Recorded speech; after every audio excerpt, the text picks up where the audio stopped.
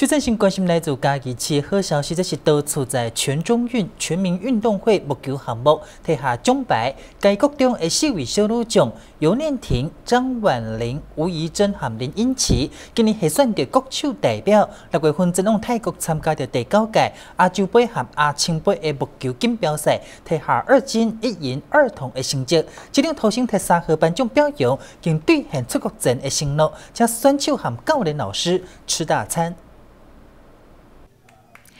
江义国中的木球选手尤念婷、张婉玲、吴怡珍和林英琪，在日前代表着台湾参加着第九届亚洲杯暨亚青杯木球锦标赛，拿下两名金牌、一名银牌和两名铜牌的出色成绩。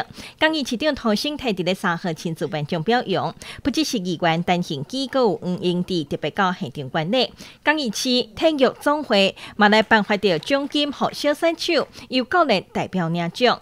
今年市长陶生泰特别感谢体育总会对着选手的鼓励，马来地在每一位的奖的选手跟着自己的兴趣走，这本册来鼓励选手持续发现家己的。兴趣和潜力。我们今年在我们嘉义国中派出去我们的四位同学啊，可以说都替国家争光，得到这么好的成绩啊，那。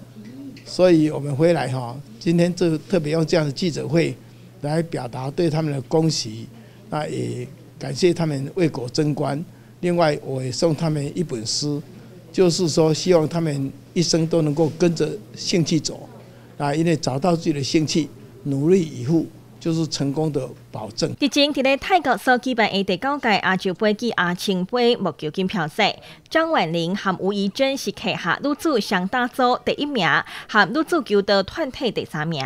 林英琪赢夺女子个人杆数第一名，和青少年组双打第二名。尤念婷取得女子杆数双打第三名，和杆数团体第四名的成绩。尤念婷、张婉玲和吴怡珍拢是家己高中今年的毕业新，未来将要进入家己价值，继续目求经济的生涯。目标希望当取得更较好的成绩。林英奇这是国二升国三的小学妹，伊讲要对着学者的脚步，取更较侪的金牌。最新新闻中国边王小三家己市彩虹报道。